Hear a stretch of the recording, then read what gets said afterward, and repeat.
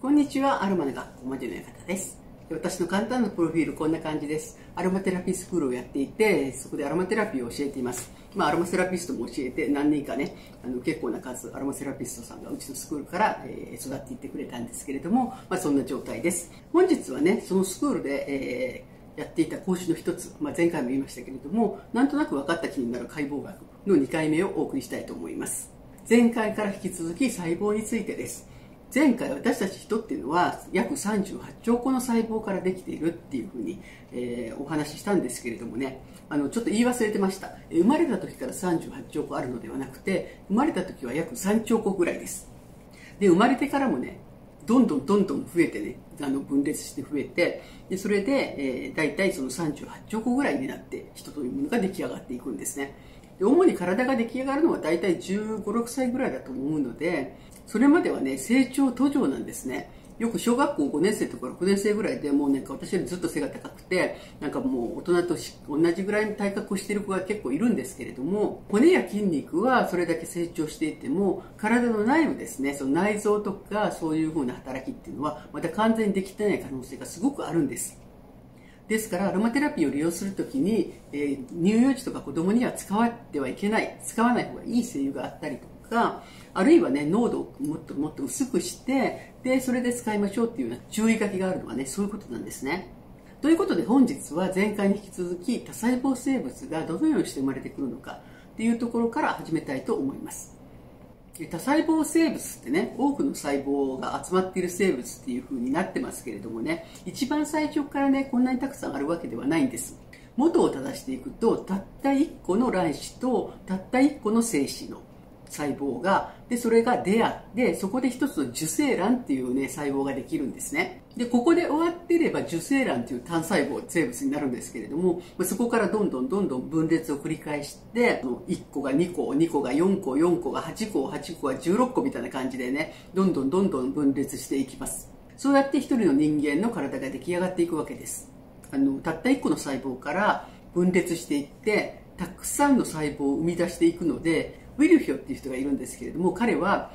全ての細胞は細胞から生まれるというね名言を残しているんですね。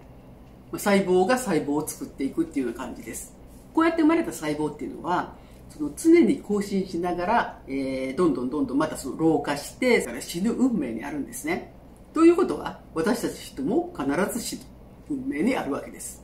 ところがね死なずにねどんどんどんどん増殖していく細胞っていうのがあるんですよ。何だと思いますか？これがねあのがん細胞とかそれから肉腫って言われてるやつですね。大昔からねあの偉い人々がね不老不死の薬とか欲しがってたじゃないですか。でも不老不死って絶対ありえないんですけれどもまあ言えば不老不死の細胞ですよねがん細胞って。死なないですからね。でも最終的に宿主が死んじゃって結果自分も死ぬというね。まあパラドックスの世界にがん細胞は生きてるわけなんですけれどもと宿主も殺して自分も死ぬという不思議な細胞だと思います。以上が、え、多細胞生物が、え、できていく過程発生についてでした。ここからはねその細胞がどのような構造をしているのかそしてどのような働きをしているのかというところに入っていきたいと思います。人を構成している細胞っていうのはねもう何度も言いますけれども約38兆個あるんですけれどもねそれらの細胞がみんな同じ形をしているわけではないんです。前回ちょっとだけ触れましたけれども大体250から300種類ぐらいあるそうです。それらの細胞の種類によって形とか大きさとか働きとかが、まあ、特徴をつけられているということなんです。例えば精子っていう細胞があるんですけれどもそれはもう卵子に向かってただひたすらこう一生懸命ね泳ぎ続けなければいけないので弁毛というね尻尾のようなものがついてるんですよね。よくオタマジャクシみたいっていうふうに例えられるんですけれども運動機能を持っている細胞っていうのは珍しいんですね。また赤血球っていう細胞はこうまん丸で平たい形になってて真ん中がペコッとへこんでる形をしているんですけれどもあの私はよく説明する時ハンバーグってこうこねますよね、まあ、男性の方はあんまりしないかもわかんないんだけどハンバーグミンチ肉をこねてでもう平たい小判型にしてでペタペタペタってした後真ん中でペコッとへこましてから焼きませんか？ああいう形なんですね、まあ、両側がへこんでるような感じになりますけど赤血球の場合は。赤血球って私たちの体の隅々まで酸素を運んでいってくれるわけですよ。ですので酸素が一度でたくさん運べるように表面積を広くしてるんですね。ペターとなっているよりかこうちょっとへこんでる方が伸ばしたら広くなるでしょう。面積が広くなる、まあ、そこに酸素がいっぱいあの、えー、捉えられるみたいな形になるんです。さらに赤血球ってこうぐにゃぐにゃした形で血管の壁を通ってね外へ出たりとかできるんですね。ですのでその時にこうくちゅくちゅってこう縮まったりするのもね多分あのへこみがあるからできやすいのではないかなっていうふうに思います。そういうふうにしてね細胞っていうのは自らの働きに合ったような形っていうのをしてるんですそのね赤血球ってものすごくたくさんあってえー、先ほど言ったね、まあ、38兆個、もうこれ38兆個覚えたと思うんですけれども、なんと60%がその赤血球だっていうんですね。それはね、大量出血したら死にますよね。他にも筋肉細胞とか、それから神経細胞とか、いろんな形をした細胞がね、たくさん、たくさん私たちの体の中にはあるんです。でも、その形はいろいろだし、働きもまちまちなんだけれども、その細胞の構造っていうのはどんなものであっても、全部同じ構造をしてるんですね。どんな構造をしてるかっていうと細胞膜があってで真ん中に核っていうのがあってその細胞膜と核の間は、えー、細胞質っていうふうに言ってそこに細胞小器官っていうのがねうじゃうじゃとあるっていうふうな、えー、形なんですねイメージとしてはね大きな、えー、細胞っていう名前のね袋があってその中に核っていう小さな袋があってでその周りのところにもっと小さな袋がポコポコポコポコあるっていうような感じで覚えてもらったらいいかなと思います。で細胞のね形とかそれからまあ細胞の構造っていうのはある程度分かったんですけれどもじゃあ細胞って何してるのっていうとですね先ほど、えー、言いました、えー、ウィルヒオさん。がまだまだね、えー、名言を残してるんです名言でもないかな。つまりその細胞は細胞から生まれる。そして細胞の働きは自分と同じ細胞を作ることなんです。私たちの体は主にタンパク質でできているんですけれども細胞はそのタンパク質を作るために、いろいろな機関が各自それぞれの働きをして必要なタンパク質を作っている。そして私たちの命を支えてくれてるんです。それではここからね、えっと、細胞のその器官ですね。それを一つ一つ見ていきたいと思うんですけれどもまずね細胞膜です。名前の通り細胞を包んでいる膜ですね。でところどころに穴が開いています。その穴はどういう働きをしているかというと細胞がね働いていくために必要な栄養分とかっていうのがあるじゃないですか。そういうものを取り込んでそれから細胞の中でいろいろ使っていらなくなった老廃物そんなのを排出している。そういう穴なんですね、まあ、出入り口みたいなものです。